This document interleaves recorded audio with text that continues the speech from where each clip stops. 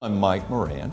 I uh, have been practicing law here in Atlanta for 36 years now. Primary area of practice is criminal defense, everything from DUI cases up to homicide, aggravated assault cases, burglary, theft uh, in state and federal courts.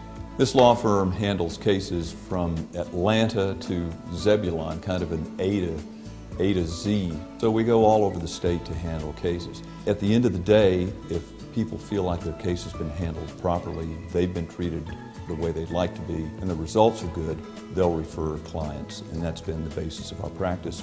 Uh, a lot of people simply can't afford to pay a large fee up front, and we try to accommodate and work with, uh, with clients.